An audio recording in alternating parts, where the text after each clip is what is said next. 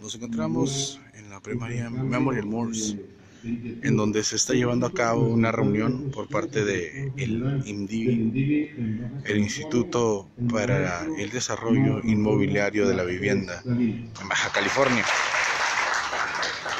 Su titular, Marco Antonio Blasquez, dará unas palabras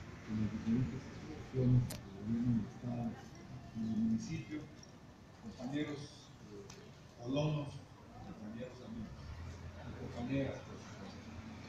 Es un placer eh, estar con ustedes. Eh, nosotros hemos estado desde un principio al pendiente de lo que ocurrió en sus propiedades, en sus viviendas. Hemos elaborado un padrón con el que contamos de manera certera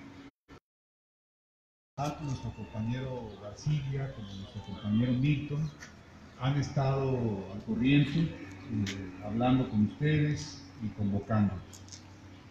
Nosotros ya presentamos a la Secretaría de Hacienda local una propuesta de regla operativa para empezar ya a darles el recurso.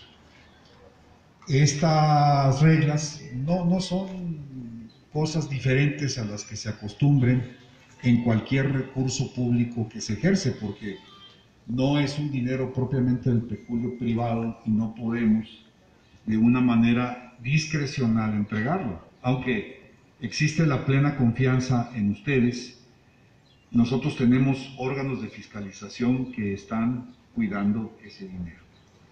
Entonces, eh, ya tenemos las reglas introducidas con Hacienda, Seguramente Hacienda nos va a resolver esta semana, no creo que pase esta semana que nos den el visto bueno. Y la próxima semana, tipo martes, miércoles, estaríamos ya este, citándolos para empezar a liberar el recurso. De antemano, las reglas operativas a nosotros nos exigen el hecho de que se compruebe que efectivamente hubo una reparación. O sea, eh, no, no, alcanzo a entender todavía qué, con qué tanta profundidad fiscal o si pudiera bastar con una revisión ocular, eh, dar fe de alguna, de alguna manera, pero sí se va a requerir que ustedes observen la máxima colaboración en cuanto a la comprobación del recurso.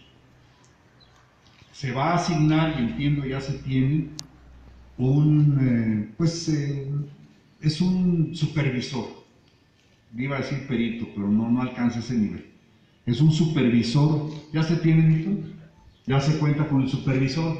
Y ese supervisor va a abrir las carpetas de ustedes. Les va a decir, a ver, caso por caso, este, tú dónde vives, en qué colonia, cuál fue tu afectación, ya la solventaste, sí, cómo la solventaste, y se van a empezar ya a generar los recursos.